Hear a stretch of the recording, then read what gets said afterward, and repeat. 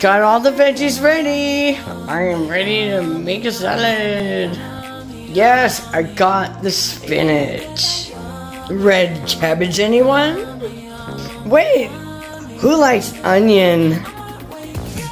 Cucumber, anyone? What is a salad without olives? Tomatoes are a must. Oh, what's this? I work there. Yum. Woo! Check out that jerk chicken from Boar's Head.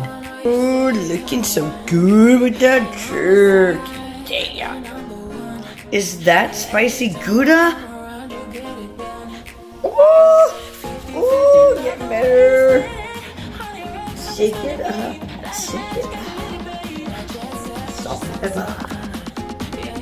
Uh-oh, pollution.